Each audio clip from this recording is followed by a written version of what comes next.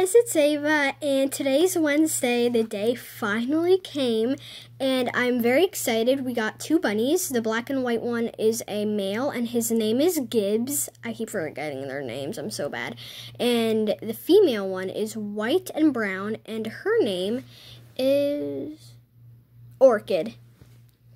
So, Today I attempted to feed them a carrot, but they are still getting used to their home. They are still shy. They're sniffing around, so I might as well just let them be for now. Um and get used to their new home. But I'm going to say guys, the new home that um they have now that we picked out for them, like the cage and everything, it's pretty good. And that's where they're going to be, I think. Yeah, so right now they are in a pen and they're enjoying their place. They're still getting used to everything. So, yeah, they're sniffing around. They have lots of toys.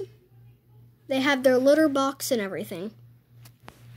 And so, if you go out the place and you want to adopt a bunny or two, um, it's going to be $180, 180 And if you want to foster them, they're free. So, it's easy to easier to foster them, but when it, you think it's time for them to get actually adopted to parents, uh, post them somewhere, like on Facebook uh, or like TikTok or something.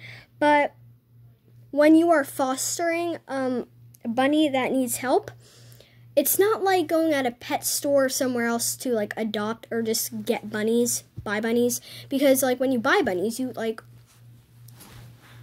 more, most people like want to have bunnies that are not like shy and that are well trained and that like people that like being pet and stuff.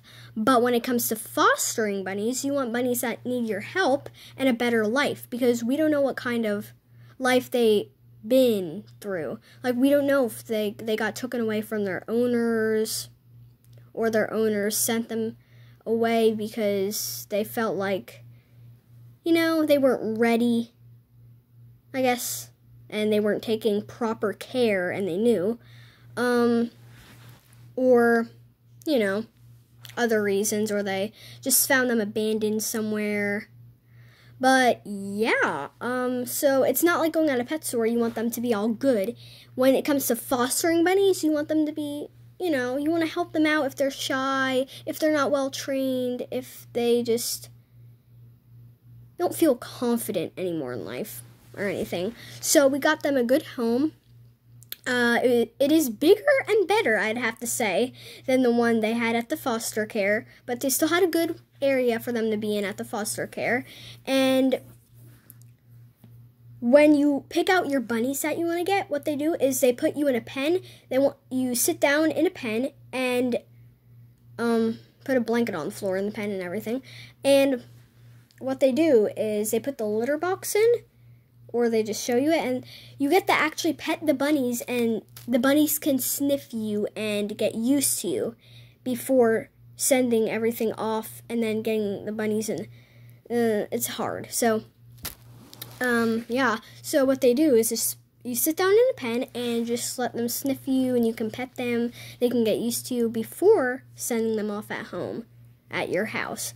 So it's free to foster. If you want to adopt a bunny, it's going to be $180, I guess.